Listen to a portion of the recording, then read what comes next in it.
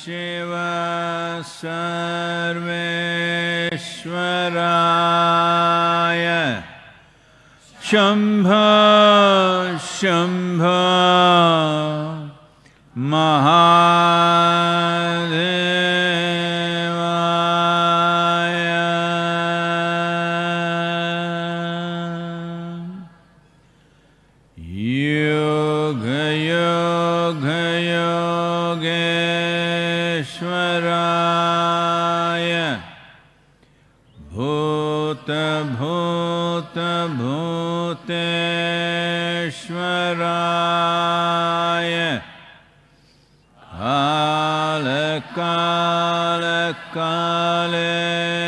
कालेश्वराय शिव शिव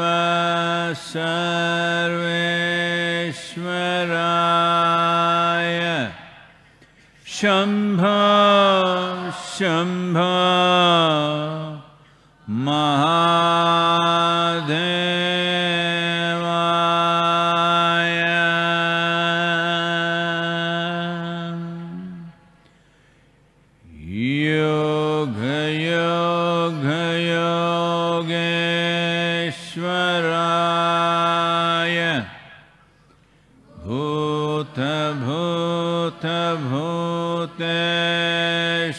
य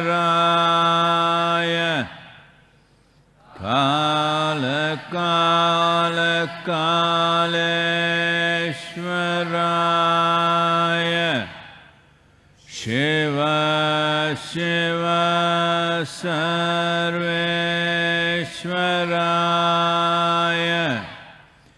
शम्भ शम्भ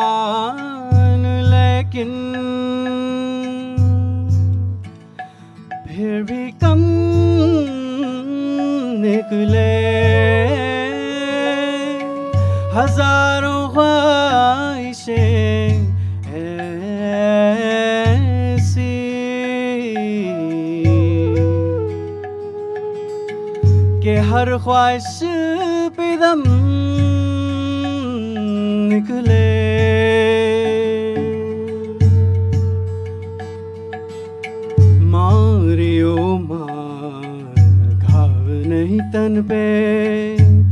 जिन लगा तिन जाना है भाई। कहे कबीर, सुनो भाई साधो। जिन जाना, तिन माना है भाई। गगन की ओट निशाना है भाई। दाहिने सूर चंद्रमा बाहें। दिन के बीच छिपाना है भाई। गगन की ओट निशाना है। ए भाई।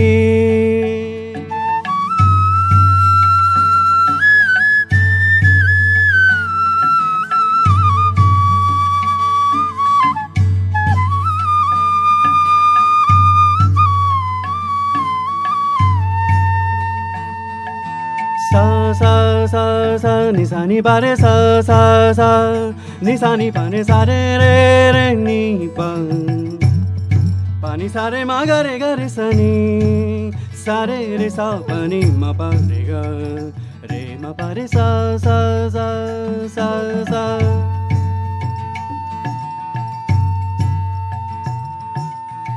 हजारो खे ए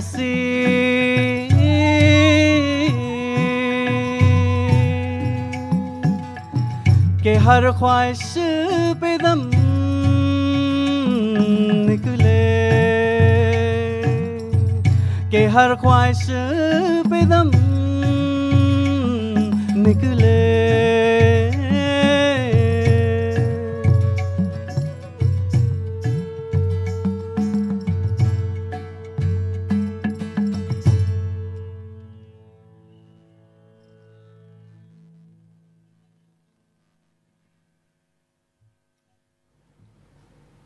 Namaskaram. Namaskaram to everyone.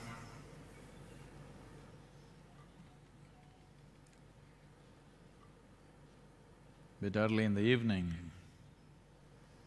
we see some frogs are calling out.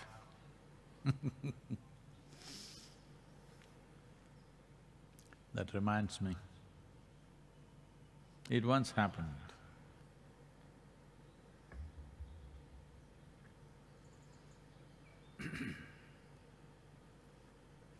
Waiting for the quack.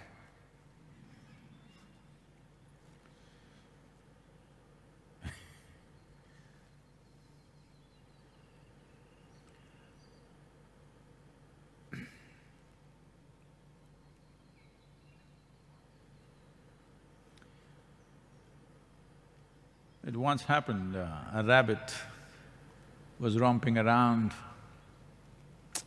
springtime, you know, mad as a March hare. But then he heard a, frog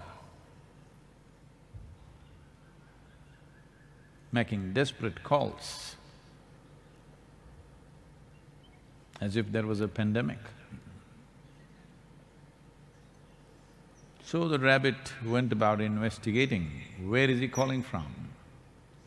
Then he found a hole in which the frog was sitting and then the rabbit asked, what are you doing in this hole? Why are you screaming? The frog said, uh, I fell into this hole, I'm not able to get out. The rabbit said, just hold on, I will go get a ladder for you. So went out to procure a ladder. You know, ladders are not always simply available, you have to go search for it. Even in the yoga center, if you want a ladder, most of you don't know where to find a ladder. Because we want… don't want you to get on top of the roof, La ladders are always kept in a certain way. so after some time, he got the ladder and came back. But he found the frog was already sitting outside the hole.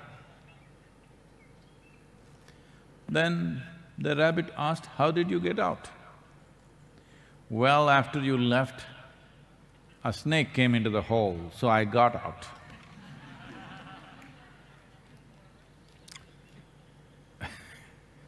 Just now I was talking to Confederation of uh, Industrial Groups in the country. Everybody is very apprehensive because these are not easy times for you to be running a business or an industry because always there are uncertainties in any large activity. But right now there are too many variables and too much uncertainty. So there are genuine problems on the ground of financial issues, human issues, in the sense you have your employees, thousands of them. If you pay them without work, you will go bankrupt. If you don't pay them, their lives will get bad. They may not survive this month or two. But if you pay up all the money now, even if they come to work after this lockdown is over, whatever you manufacture, whatever it is, whether it's an automobile or phone or apparels or anything, for the market to come back, it may take months, it will. The lockdown will go away in a few weeks, but when we start working and producing, the market will be very hesitant. For it to come back, it'll take time. So all these concerns, financial concerns, human concerns, variety of problems, loans that you have taken, the money that you owe to people, the EMIs, bank loans, various things. All this is worrying them a lot. So, uh,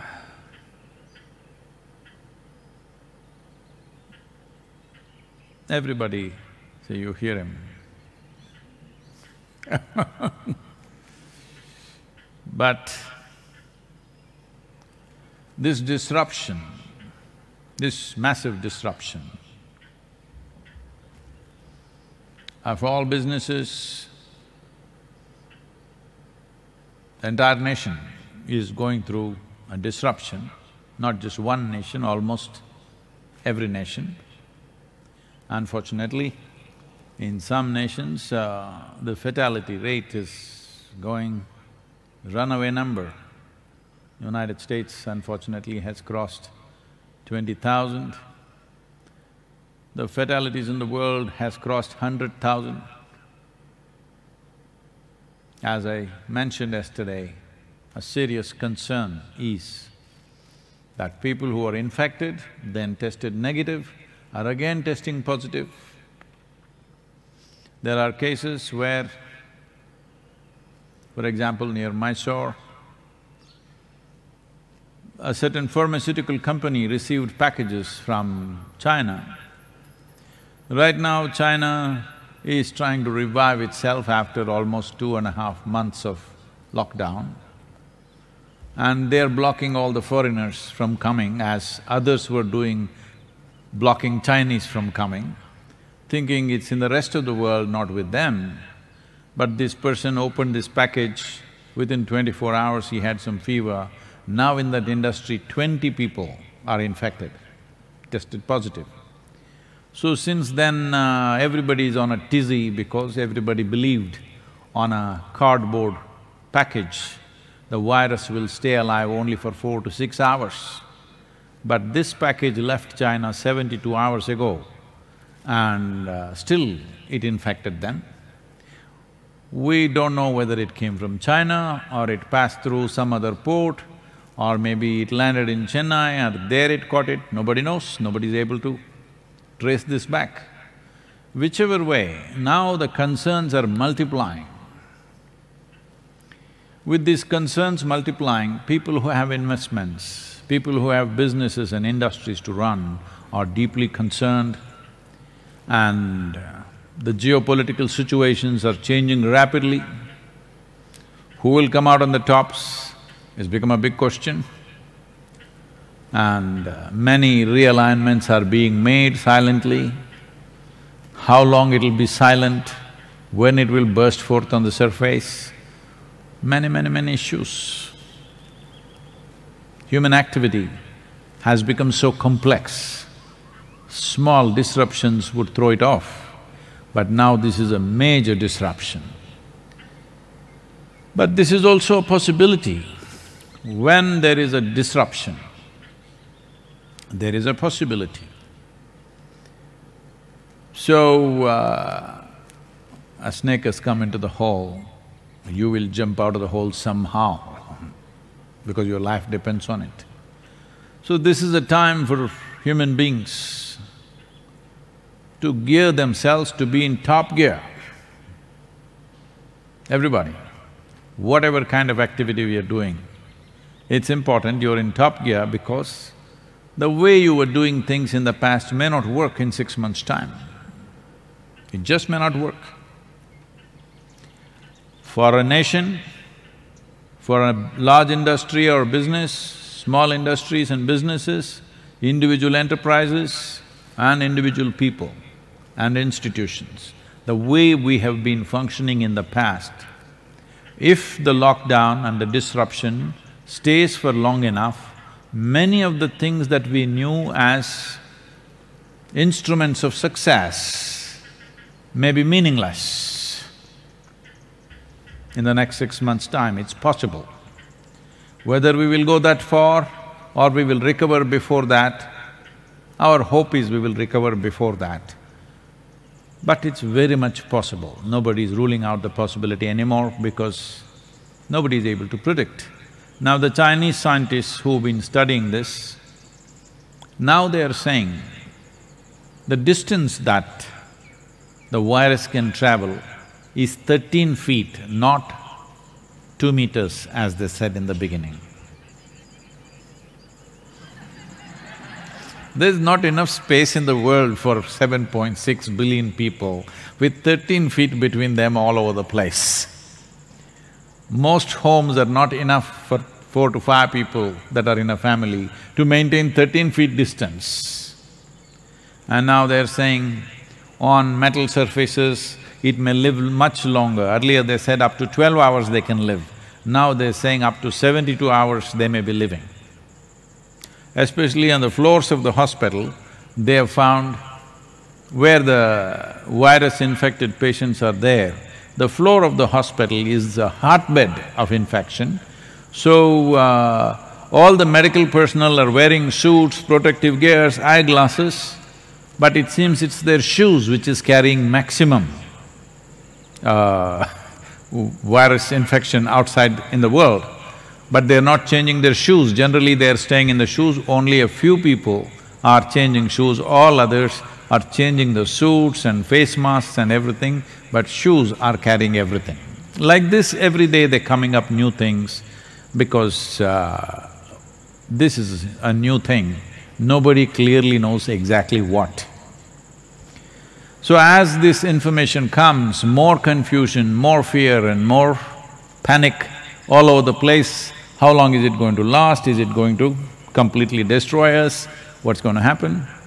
Yes, for sure, the way we've been doing business, the way we've been conducting many things, many aspects of it may, depending on how long it lasts, may come to an end. The way we've known things, what are our means of success, those means may be irrelevant in three to six months' time depending upon what it does, how many people it kills. Right now, as far as we know, the only sure thing we know is that, well, some tiger has got it, some dogs have got it, but they're saying they don't have enough infection to pass it on to somebody else, they have mild infections. So, largely, it is only the human being who is the carrier. So one thing we know for certain is maintaining enough distance, we can come out of this as a minor aberration to our generation.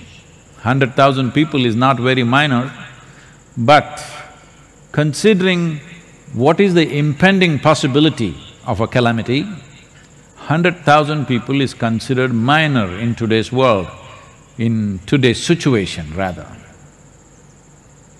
So, uh, now the snake has entered the hole, everybody needs to jump to their fullest capability, every one of you. Every one of you, wherever you are, whatever you're doing in your life, you must come to your fullest capability. This is the time. This is the time of your life where the best in you has to come. As a human being, as a working person, as whatever jobs we are doing, whatever businesses we are doing, we must come out at our best because now the snake is in the hole.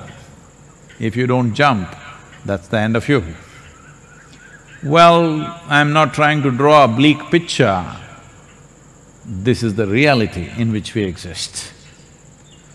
Whether we will come out victorious, look back with pride how we came out of it, or we will look back with total depressed disappointment of who we are and what has happened to us simply depends on how much distance we maintain, thirteen feet.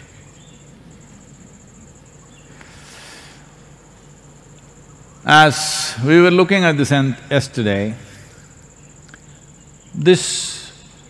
this whole thing about instilling sense of competitiveness from a kindergarten child, everywhere, I want to be number one, I want to be number one. This can be hugely damaging in a situation like this. This needs a very cohesive action, not a competitive action. A very cohesive action is needed from humanity right now. If we compete with each other, well, both of us may go. That's how it is. So, we have to unwind the silly education that's gone into your head that always you must be number one, number one, number one. Number one, you must also be the number one to go. Yes, if you always think everything is a race, life itself is a race, of course you must hit the finish line first. Virus will help you. This is very important that we unwind this tension we have created in our head. We want to be number one. If I sit here with my eyes closed for ten minutes, they all may go away. They may eat up my food. Competition all the time. This has to go down. If we have to behave sensibly in a situation like this, this has to go down. In everything, people think they have to be one up. This happened. Outside the labor ward, a few men were waiting because their wives were in labor in a major hospital. Shankaran Pillai also in the waiting, his wife also. So, the nurse came out and uh, went to a certain man and said, Sir, Mr. Thompson, you have a very healthy young boy born to you. So that man became very happy. Shankaran Pillai looked at him and, said, what the hell, I came here ahead of him. you deliver a baby boy for him, I came here ahead of him. That's not how life works. so, this is a good time for us to correct many things that we've been doing wrong as human societies. This is definitely a great time to do that. As I said yesterday, if all of us strive on all levels, physical, mental, emotional, and in terms of our work, ten percent improvement if we do in these three, four weeks that we have, then whatever the situation comes our way, we will handle it to the best of our ability. This is all we can do as human beings. Are we handling everything to the best of our possibilities? Or are we crippled by our own thought, emotion, fear? You may call it fear, panic, this, that, tension. It's just your own thought and emotion messing you up. When there is something important to do, will we use our hands to do that or will we slap ourselves in the face? That's all it means. That's all it means. So this is a time that everything we got must be used so that it benefits us and benefits the world in which we live. These are challenging times. Challenges make people rise. Some people will rise, some people will collapse. Unfortunately, this has been the reality. In today's world, where the communication in the world is like never before, technologies which support us to make us into not like one human being, like every human being can do hundred people's work. When that kind of capabilities are there, we must ride this challenge, not be crushed by this. If you are a good, good wave rider, your dream would be a tsunami. Tsunami would not be a disaster in your mind. You would be dreaming of a tsunami to ride. That is if you're a very good wave rider. Now, I am not so good what to do, that's not the point. Everybody must be able to do their best. There are situations outside, there are impediments, challenges, but your own mind, your own emotion, your own attitude should not become an impediment and a challenge. If you are not a challenge to yourself, rest we will handle to the best of our capabilities. This will in many ways bring humanity together, at least for the next few months. There is a certain cohesion, there is a certain level of cooperation, uh, and the world is thinking more as a world than as individual nations. All these things are happening in the world. We must use that to rise above this challenge. Hmm? Questions? This question is from Damien Cassiano. Dear Sadhguru. Is he an Italian? Sounds like. Dear Sadhguru, I find it much easier to see the wonder in the natural world than in humanity. How do I see the same wonder in human beings that I see in the peacock dancing? Well, it's a human being, right? No, no, I'm thinking if a bird is asking a question. Well, human beings don't have such a wonderful plume like the peacock. We don't have. Uh, we can put it on, you know, but it's just put on it's not like a peacock's plume. So, uh, it's easy to see wonder in things with which you don't have to share anything. You know, there is a whole culture growing in the world where uh, people go about saying, I lo I love the entire humanity, but I can't stand the next human being who's sitting here. It's very easy to love God, for example, because He never comes and sits at dinner table with you. Maybe you may take His name, but if He sits at the dinner, then there'll be problem.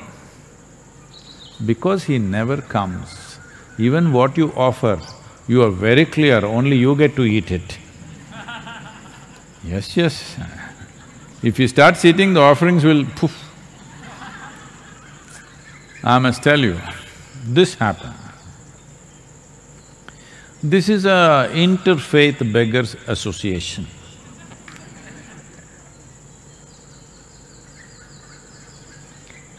So, there are only three members. One Hindu beggar, one Christian beggar, beggar, one Islamic beggar. So they said, uh, you know, they're very religious. But because of their economic condition, they have to be together, otherwise they would fight. So one day, they met under a tree and then the Hindu beggar wanted to show that he is really a devotee. He said, see, every day whatever money and stuff, you know, generally the money the, that comes to me, which comes in the form of coins and various small denominations, I write a large Om, Om, and then I throw all the money up. Whatever lands on the Om belongs to Shiva, rest belongs to me.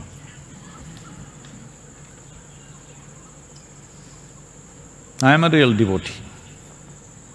Om is, you know, big tail and this one, this one, all that.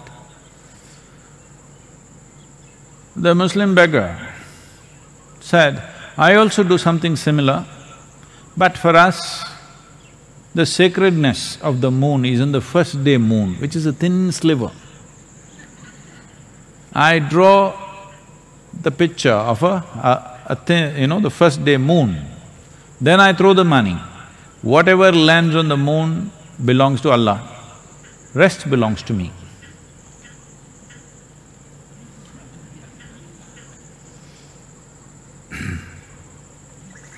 Then they asked a Christian beggar, what do you do? He said, I'll take all the money and throw it up. Whatever is his, he will keep it, rest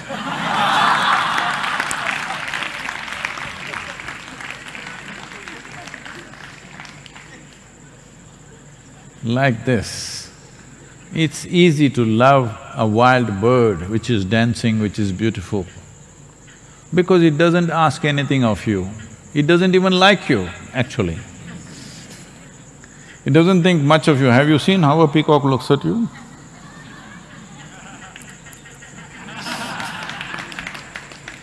He doesn't think much of you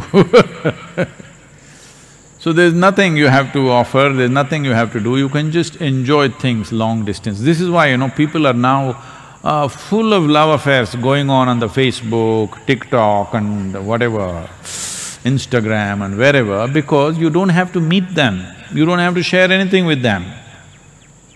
You don't have to wait outside the bathroom when they're using it.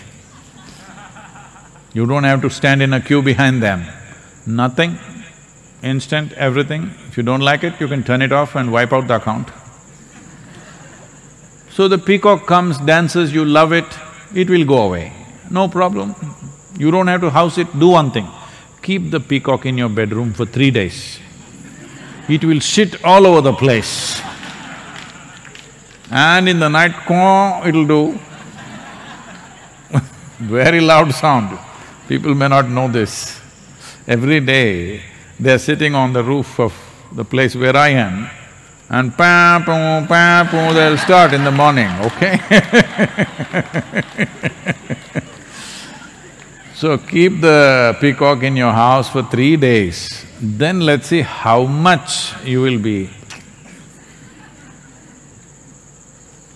So, human beings are a difficult species, that includes you. So, don't make this… See, we are talking about not having distinctions of uh, race, religion, caste, creed, gender. Lot of talk is going on about this. I am telling you, don't even draw lines about the species, why? I love a monkey but I can't love a human being, this means there's an evolutionary problem within you. I love the monkeys, but I can't stand the human beings. What does it mean? You don't like the evolution. So, it looks fascinating, the one monkey jumps all over from branch to branch, fascinating. Just one day, keep your window open in Shivapadam. Mm. A few monkeys entered your room, you're finished. They will eat, they will tear, they will shit all over the place, they'll destroy everything that is there and they're gone. Now you come and say, ah, my dear monkeys, what a job they have done. No, it won't work like that. So, it's all right, at least you're enjoying the birds, it's good. It's a… it's a kind of a uh, lobby called ornithologist, you enjoy the birds. Study the birds or enjoy the birds. Bird watching. But the same birds, if they enter your room, it's different. The problem with human beings is you encounter them everywhere, they're in your house, they're in your office, they're everywhere. They're not just dancing somewhere far away. If they were just dancing far away, you would love them also. The problem is, you have to work with them, you have to live with them, you have to manage them every day. That's a problem. So, I want you to understand this. Nothing wrong in you appreciating and loving a peacock dancing, perfectly fine. You must love him even when he is not dancing, that's fine. But the frog is uh, saying, where is the snake? When there are peacocks, they eat up the snakes. Every few days I'm bringing snakes and leaving them in the garden, but these peacocks eat them up in no time. You like the peacocks, I also like them, but I would like some snakes also moving around, but they all get eaten up in no time.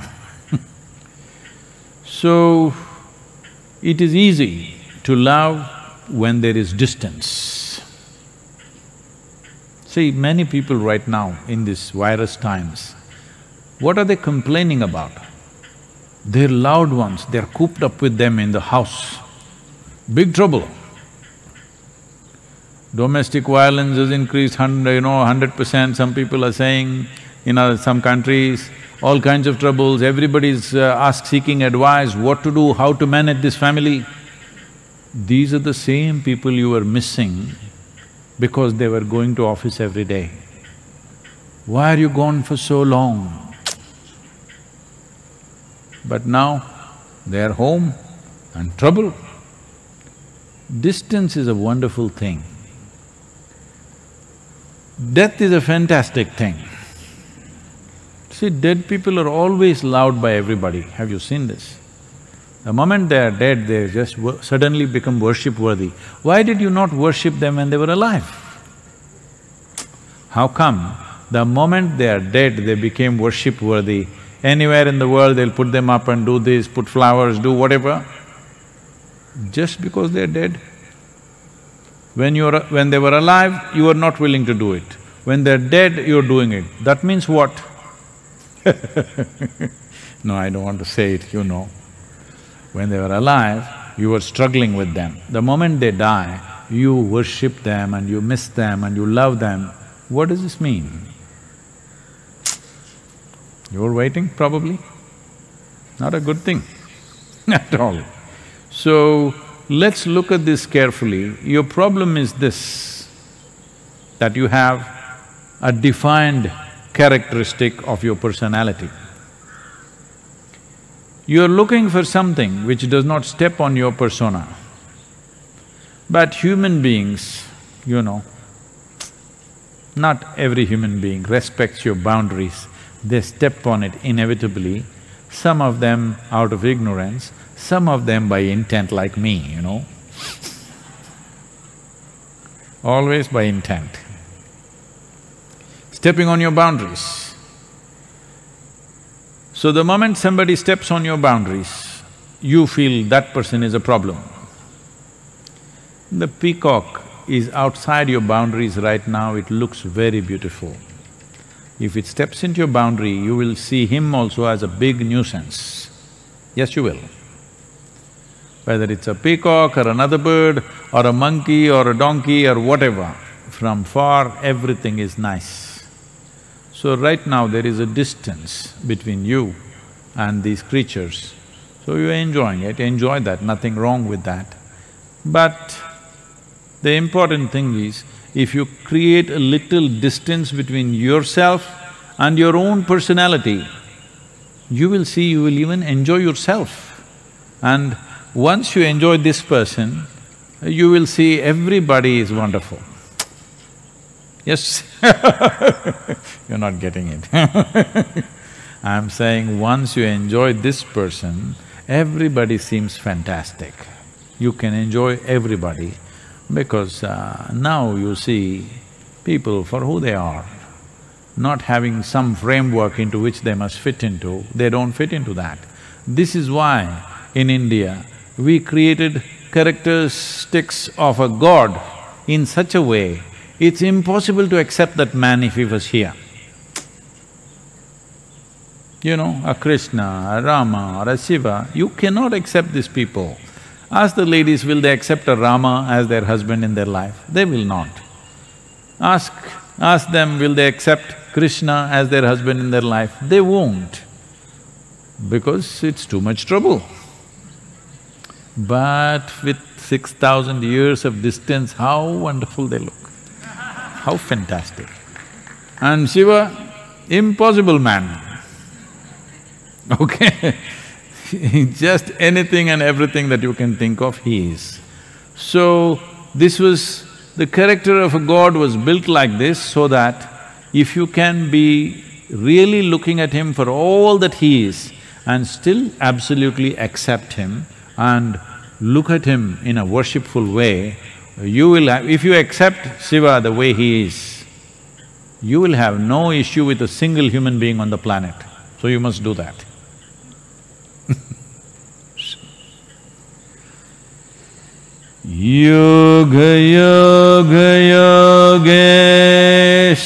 योगयोगयोगराय भूत भूत भूत श्वराय